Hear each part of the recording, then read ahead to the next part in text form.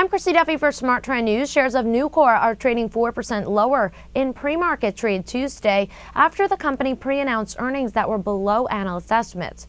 For the third quarter, the company said it now sees an EPS for 5 to 10 cents, well below the street estimate of 31 cents. The company attributed the shortfall to lower margins and higher scrap metal costs. Additionally, the company said that its LIFO inventory accounting method is higher than the $45.5 million charge that was previously anticipated. Since 2008, SmarTrend subscribers trading Nucor using our alerts outperformed the stock by, 40, by 47%.